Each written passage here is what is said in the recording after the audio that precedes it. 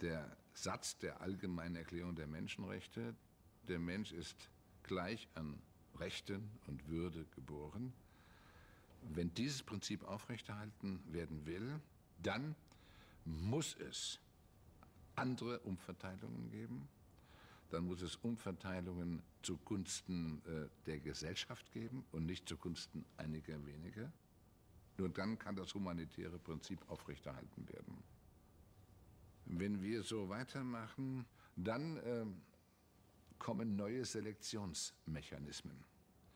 Selektionsmechanismen zwischen Staaten, zwischen Rassen, zwischen Religionen, zwischen äh, berechtigten Menschen, zwischen unberechtigten, zwischen wertvollen und nicht wertvollen Menschen.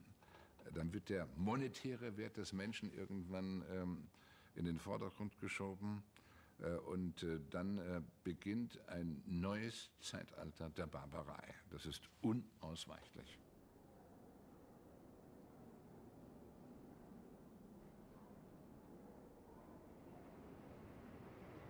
Letztlich zahlen es immer die ganz durchschnittlichen, normalen Bürger, der sogenannte kleine Mann oder die kleine Frau, die für sich als Einzelne auf diesen Prozess äh, keinerlei Einfluss haben, es sei denn, äh, sie organisieren sich und finden eine organisierte Vertretung ihrer Interessen, die mächtig genug ist, diesem Prozess entgegenzutreten.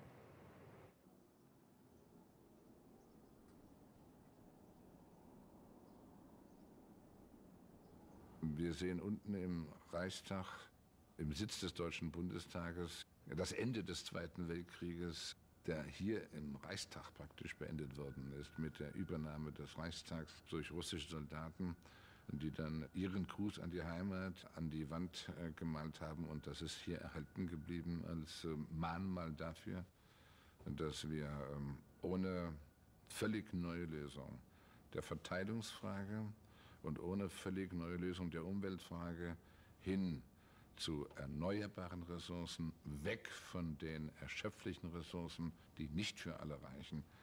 Wenn wir das nicht machen, dann kommen Dinge, wie sie hier ihr Ende gefunden haben im Zweiten Weltkrieg, in irgendwelchen Formen immer wieder.